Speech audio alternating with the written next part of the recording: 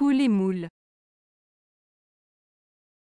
Coule, le mot coule est un verbe qui signifie que quelque chose s'écoule ou se déplace de manière fluide ou régulière.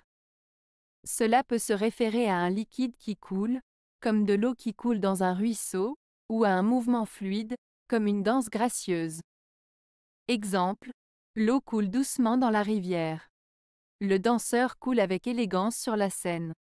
Moule, le mot moule peut avoir plusieurs significations, mais dans ce contexte, il fait référence à un récipient utilisé pour donner une forme à quelque chose.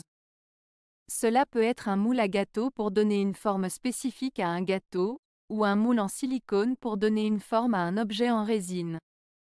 Exemple, j'ai utilisé un moule en forme de cœur pour faire un gâteau d'anniversaire. Elle a utilisé un moule en silicone pour créer des bijoux uniques.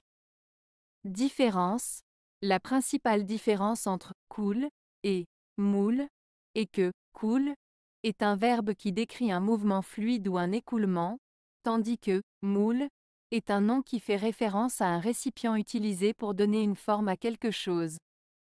Ils sont donc utilisés dans des contextes différents.